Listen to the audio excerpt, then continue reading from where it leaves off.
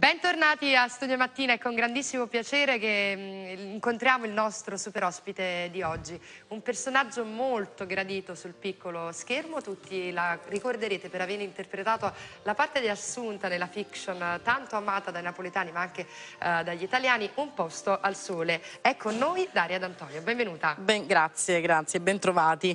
Allora Daria, oggi affrontiamo con te un bel argomento, tra set e scuola, ovvero questa donna, questa attrice molto brava, ma non soltanto, anche regista, ne parleremo tra pochissimo, che si divide tra il piccolo schermo e le attività di insegnamento, con sì. un'associazione fondata a Portici, Talia, un'associazione formata da tre donne che concentra la sua attività sul territorio. Assolutamente sì, siamo, siamo tre donne, tre attrici, eh, ricordo le mie colleghe Elisabetta D'Acunzo e Gioia Miale e cinque anni fa ci siamo guardati guardate in faccia e abbiamo detto che cosa possiamo fare per la nostra città, perché noi abbiamo iniziato a Portici, io personalmente con, eh, con la scuola di Isa Danieli, e ci siamo dette non c'è più nulla a Portici, non c'era più niente che riguardasse il teatro o comunque le arti sceniche, il canto, la musica e abbiamo deciso di formare, di fondare l'associazione e di cominciare nel nostro piccolo a fare dei piccoli corsi di recitazione. La cosa è andata benissimo, ormai sono quattro anni che lavoriamo a Portici, abbiamo una nostra sede, abbiamo la nostra scuola, eh, dove insegniamo noi personalmente, abbiamo anche altri docenti, abbiamo, da quest'anno abbiamo anche il corso di canto, il corso di musica,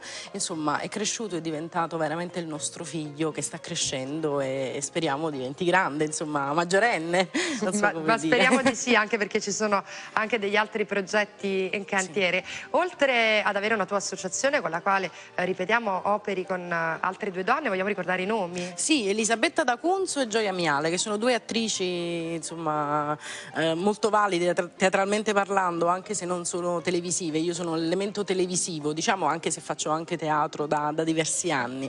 Però sono due, insomma, Gioia ha finito l'anno scorso la tournée con uh, Luigi De Filippo, Elisabetta ha lavorato con Sepe, insomma sono due signore attrici. Quindi. Due signore attrici molto valenti. Vengo da lontano, ma Elisabetta da Cunzo ha un problema alle spalle, perché bisogna dire la verità, le cose così come stanno, è la moglie di Ernesto Lama. E, ho detto, ah, ecco. e, detto, e qui chiudiamo Guarda, noi preferiamo dire che Ernesto Lama è il marito, marito di Elisabetta Sì, sì, sì, sì, sì, sì Bravo, fatto benissimo a sottolineare questa cosa. Comunque, oltre a questa associazione, uh, Daria insegna anche in altre scuole, quindi porta la sua bravura e la professionalità uh, presso altre scuole che si occupano di formare talenti. Stiamo parlando della New Dance Music in School di Anna Pisco, che tra le altre cose quasi ogni giorno ci spedisce proprio dei bravi eh, talenti, sì. e della ribalta a Napoli uh, di Marianna Di Martino. Allora, Daria, si può può dire che comunque tu hai compiuto un bel percorso e che in qualche modo ce l'hai fatta, perché quantomeno uh, tu segui le tue passioni, hai fatto sì che diventassero un lavoro. Stavo le altre cose. No, no, vabbè, grandissimo. A proposito di attività di insegnamento d'aria, ricordiamo New Dance Music School, l'abbiamo già detto,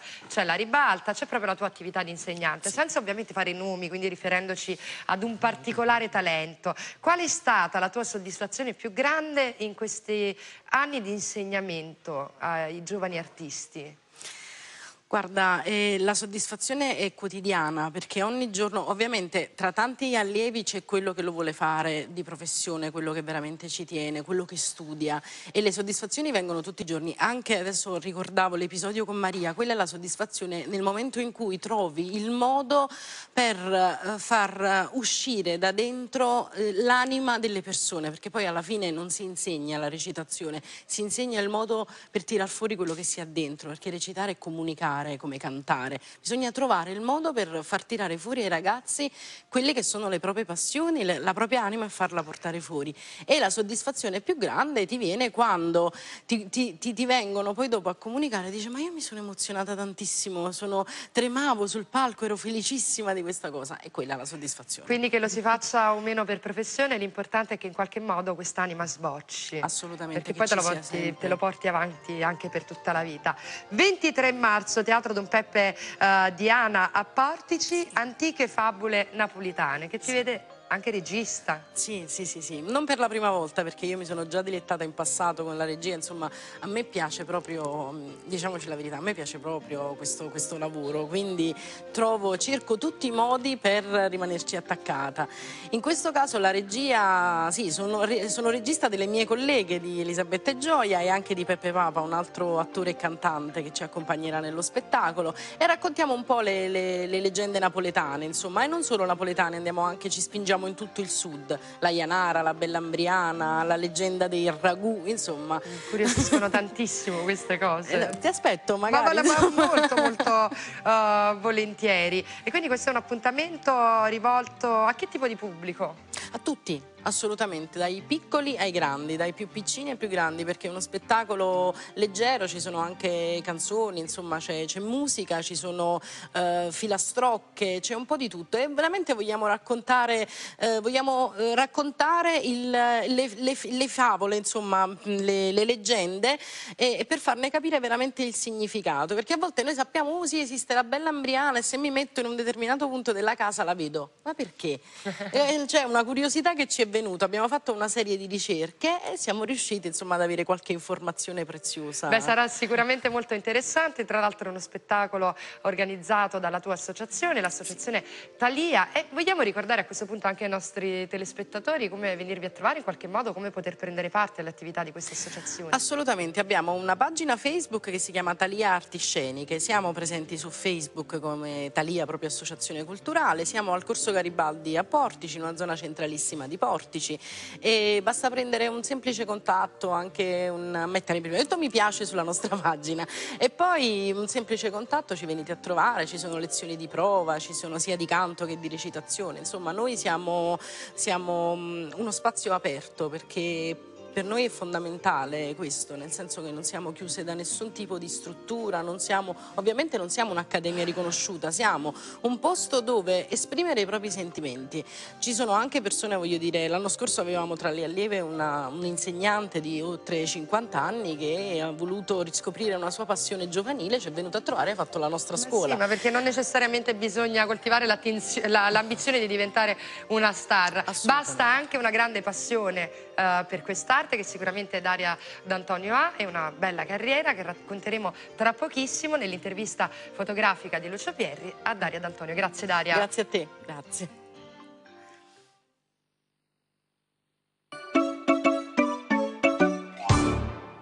Bentornati a Studio Mattina e allora ripartiamo, ripartiamo con questa amica di viaggio di quest'oggi, Daria D'Antonio, grazie per aver accettato il nostro invito, dei Ma tuoi progetti futuri e anche immediati a cui stai partecipando in questo istante, in questi momenti.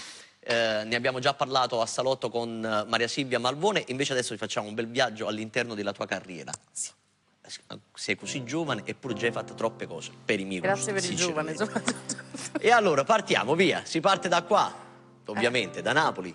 Eh, Napoli, Napoli è il mio, il, mio, primo vero, e, primo vero amore. Io adoro questa città, però soffro, soffro moltissimo per questa città. Io sono, sono, legata, io spesso ho detto me ne vado, me ne voglio andare, ma non ce la faccio. Il famoso Fuito Vin di Edoardo. Sì, sì, ma io non ce la faccio, non, non resisto. Non, eh, sono, sono, stata per lavoro qualche, un anno circa fuori, sono stata a Roma sono dovuta tornare, non ce l'ho fatta. Nonostante poi ogni mattina quando esco di casa mi arrabbio, mi innervosisco, il traffico e questo e quell'altro, però io la amo questa città, la verità, la amo Senti, proprio. tutti i nostri amici ci stanno mettendo la faccia, come giusto che sia, sì. per quello che è accaduto a Città della Scienza. 30 secondi di contributo anche da parte tua non ci arrendiamo, io è quello che dico, non ci arrendiamo, combattiamo, combattiamo sempre contro tutto, perché se ci arrendiamo è finita, ci distruggono, sono più forti loro, quindi combattiamo e non ci arrendiamo. Brava Daria. Andiamo avanti, prossima istantanea. Eh. Questa signora canuta, così bella. Eh, mamma mia, quanto è La bella. grandissima Isa Danieli. Eh, Isa è... Isa, devi tanto. Sì, io devo tutto a Isa forse. Io devo a Isa come sono adesso, come, come sono stata formata. Isa mi ha, mi ha, messo il marchio. Io ho cominciato con lei, con, ho fatto la sua scuola che avevo 14 anni e l'ho, l'ho, frequentata per tre anni. Mi ha messo veramente il timbro di fabbrica. Ma quando è che hai sentito che quella poteva essere la tua strada, quella della recitazione? Eh, quando, mh, mm, allora, io in realtà la spinta iniziale l'ho avuta alle scuole medie con la mia insegnante di italiano, che era veramente la, l'adoro, era un genio, che ci faceva fare un'oretta di teatro a settimana, perché lei era appassionata e tutto. E lì ho cominciato a sentire, sai, il, il friccicore. Mi sono detta, ma perché? Poi mia madre mi ha detto, ma sai che c'è Isa Danieli a teatro? Cioè, c'è Isa Danieli qua a Portici che fa una scuola? Andiamo. E poi quando ho conosciuto Isa è stato proprio amore a, amore prima, a prima vista, sì, perché Isa è, è una persona di una passionalità estrema, quindi fa tutto con una passionalità estrema, anche l'insegnamento e quindi ti insegnava ad essere eh, forte con la forza ed è stato veramente un momento meraviglioso. Senti l'aneddoto più particolare che ti ricordi, che ti viene in mente legato ah, a Isa? Più bello, quello più bello quando mi, mi, io avevo, quando ero piccola, vedimi i capelli erano ancora più ricci, come eh. i suoi, no? E lei non aveva nessun problema a farseli crescere gonfi e tutto. Io invece cercavo di farli, di, di farli scendere, di sgonfiarli. E lei mi guardò e mi disse, Piccere, tu sei tale quale a me. E io la dissi, oddio, è vero. È vero, è vero, ha buffato, ma guarda quanta capelli che te, tu sei addirittura. Esatto. Andiamo avanti. Terza istantanea. Renato il maestro. Come si direbbe, scarto fusce e, e pigli primere qua, eh, voglio dire, da Isa Daniele a Renato Carpentieri. Eh, diciamo. Eh, tutti piccoli nomi. Renato è il maestro. Ecco, Isa è l'amore, Renato è il maestro, perché Renato non ha la, eh, la, passionalità di Isa, nel senso che Isa è più carnale, Renato è più freddo, però Renato mi ha insegnato veramente tantissimo, mi ha insegnato la come tecnica. studiare, sì, mi ha insegnato la tecnica, mi ha insegnato come studiare e mi ha insegnato che non bisogna mai fermarsi nello studio, perché Renato io l'ho conosciuto che già voglio dire era grandicello di età, adesso lo, lo è ancora di più.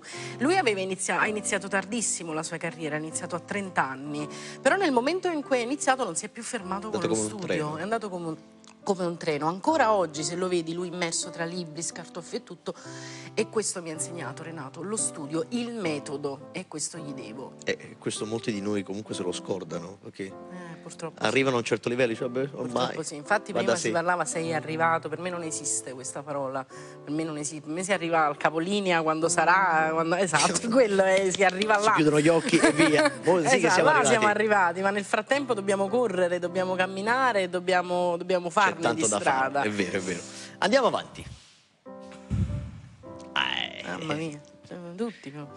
eh sì, questa è la, la, tua grande seconda famiglia praticamente. Sì, sì, sì, sì. Per, per, dieci anni è stata la mia, vero, la mia seconda famiglia, Germano è stato il mio Tu hai iniziato con un posto a sole estate. No, no, no, io ho iniziato ah, con direttamente... sole, sì, sì, sì, normale, ho iniziato con una Come è successo? Cosa, ma guarda, è successo che io ero a teatro con, appunto con Renato, con uno spettacolo di Renato a Galleria Toledo. Eh, lì c'era Marita, venne a vedere una sera. Marita Delia. Marita Delia, scusami, io chiamo Marita perché per me è eh, Marita Delia mi viene a vedere, no guarda c'ho un personaggino per te piccolino, però guarda mi dispiace, una sola posa. Dico va bene, io avevo vent'anni, eh, non è che ero proprio diciamo questa grande. Dico no, non mi fa piacere, lo vengo a fare. Faccio sto provino, piace. Ti, mi chiamano di nuovo, guarda lo devi rifare perché adesso lo facciamo più particolare. Va bene, facciamo. E faccio, vabbè mi prendono per fare questo personaggio ed effettivamente era una sola posa. Tempo due mesi mi richiamano ma sai che c'è, il personaggio è piaciuto, vuoi ritornare per altri due mesi? Finisce il contratto, ma vuoi stare altri due mesi? Ma alla fine sono diventata protagonista così. Due mesi, due mesi, due mesi, alla fine è diventato un anno, alla fine è diventato un Quindi può succedere questa cosa di due mesi? Assolutamente sì. No, no, perché ho finito ieri sera praticamente. Assolutamente sì, aspetta posso... due mesi. Tra due mesi, ah, ragazzi, Guarda, due mesi so. ancora e poi me ne vado, che ve lo dico già. Ha detto Daria, tra due mesi me ne vado, torno un posto a sole, ciao a tutti. Eh. So, so, so, me l'hanno detto che, che, hai, insomma, che sei andato in onda e sei stato molto, molto bravo. Ci siamo divertiti, quella è la verità, perché poi credo che, come dicevi tu, questo è un lavoro fatto di, di, di grande passionalità e passione. Ma meno male che c'è il divertimento, perché altrimenti no... che si fa? Vediamo un po', andiamo avanti. Io già lo so che cosa arriva, l'hai nominato, eccolo qua. Eh. Eh, non poteva mancare. ma quanti di loro ti avranno fermato e detto, ma secondo me siete proprio una bella coppia nella vita? Ma tutti.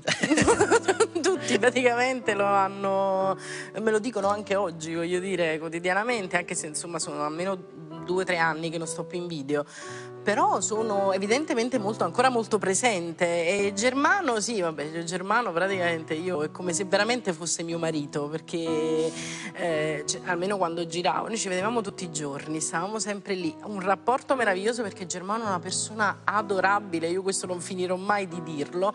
E, e quindi ho, sì sì sì, in realtà è come se fosse un po' mio marito, diciamoci la verità, anche se io ne ho uno a casa, diciamo, con il quale mi vedo tutti i giorni, però Germano resta, diciamo, quello lì che nell'immaginario collettivo è mio marito e lo resterà. Ma ti manca un po' un posto al sole? Mi manca moltissimo.